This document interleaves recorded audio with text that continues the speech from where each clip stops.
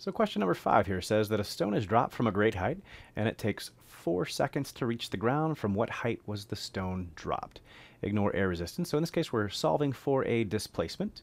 And in this case, first thing I'm going to say is that gravity is acting on this stone the entire time as we've got a vertical displacement. And since we have an acceleration, this first equation will do us no good. Uh, and in this case, we're, again, we're looking for that displacement, which we have here, here, and here amongst our equations. Uh, and in this case, we know the initial velocity, but we don't know the final velocity. So that average velocity is not something we can use, and we'll move on to the next equation. This next equation, it's convenient that this thing is dropped from rest, so that that initial velocity being zero, that first term just actually drops out of the equation. It equals zero. And we're left with delta x equaling 1 half at squared. And as we know, both the acceleration due to gravity and the time is what's given, four seconds in this problem, we can use that to solve for that displacement. So in this case, I'll call it delta y instead of delta x, but this simplifies down to simply 1 half a t squared, and in this case 1 half, and the acceleration due to gravity is 9.8 meters per second per second, times t squared here, which is 4 seconds all squared. And if we do our math here, so 4 squared is 16 times 9.8, uh, or actually let's just multiply by half, uh, which gets us 8 times 9.8, which gets us 78.4 meters. Cool, and there's your correct answer. Now I said we couldn't use that first equation here, but the truth is we can really use this equation if we want to, and again it's my favorite, so I like using it. So delta y equals v average t. So, and the key is we were given the initial velocity, just infer that it's zero being that the stone is dropped, but we weren't given the final velocity. But the truth is we could use this last equation, which again is just the definition of acceleration, which hopefully you kind of have an intuitive feel for.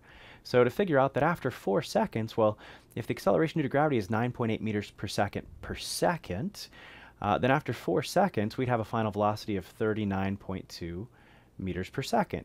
And combining those, we'd figure out that the average velocity is 19.6 meters per second.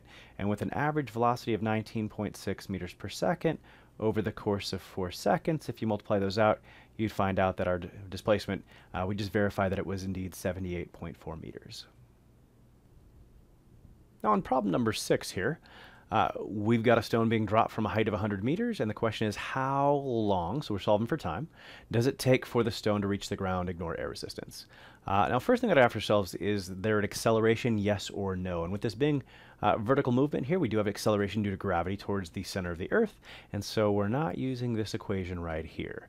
Now, of our equations dealing with uniform uh, acceleration, uh, we're not going to be using the first one. We know the initial velocity is zero, the stone's being dropped, so drop from rest, uh, but we don't know the final velocity, so getting an average velocity is going to prove problematic, so we're not going to use that one. Uh, the second equation here, we want to solve for time, and while time does show up in two places, what's convenient is with this initial velocity being zero, this whole term goes to zero and goes away. And that leaves us with an equation we can actually solve here. So delta x, I'll call it delta y since we've got a vertical displacement, and that equals 1 half at squared.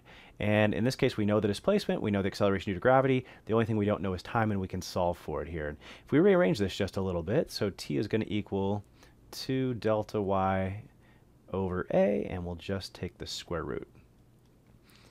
All right, in this case, one question we could ask ourselves here is uh, the acceleration due to gravity. Is it 9.8 meters per second squared? Is it negative 9.8 meters per second squared? Does it matter?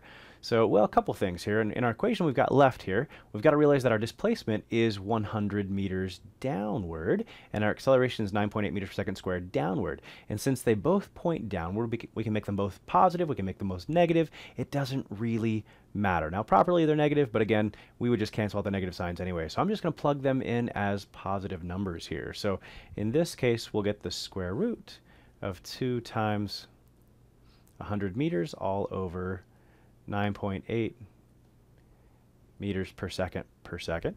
So if we kind of approximate this in our head here, uh, 2 times 100 is 200, divided by 9.8, round that to 10. Uh, 200 divided by 10 would be 20, and the square root of 20 is going to be somewhere between 4 and 5. Well, if you actually work out the math here, this is going to come out to right around 4.5 seconds. There's your answer. All right, question number seven. A stone is dropped from a great height. Its final velocity just before it reaches the ground is 60 meters per second. From what height was the stone dropped? Ignore air resistance. Uh, in this case, with the stone having a vertical displacement downward here, but being vertical, gravity is going to be acting on it the entire time, so it will have an acceleration, and this equation won't do us any good. Now, between our four equations here, we want to know the height the stone was dropped for, and that's going to be equal to the absolute value of its vertical displacement. Uh, and we've got displacement here, here, and here, but the big thing is we don't know anything about the duration of this, the time, so that equation won't do us any good, and that equation with time won't do us any good, and we're going to get stuck using my least favorite equation. Now, the truth is we could probably get around this if we wanted to, uh, using this last equation to figure out the time and then going the other route and stuff, but uh, it's probably just faster to go this route. So in this case, we've got v final squared equals v initial squared plus 2a, and I'll call it delta y instead of delta x, with it being a vertical displacement. Uh, in this case, our final velocity uh, is 60 meters per second. We should keep in mind that's a, a vertical uh, final velocity that is negative because uh, it's downhill, uh, but the velocity the entire time is pointing down. The acceleration due to gravity points down. The displacement points down. With them all pointing down, I can make them all positive or all negative, and I'm just going to make them all positive. Uh, so this is going to be 60 meters per second, and we'll square that equals, and that's no initial velocity, drop from rest, and 2 times 9.8 meters per second squared times delta y. And if we rearrange and solve this for delta y, we're going to get 3,600 meters squared per second squared. All over 2 times 9.8 is 19.6 meters per second squared. And that's going to come out to, you can round it up to 184 meters.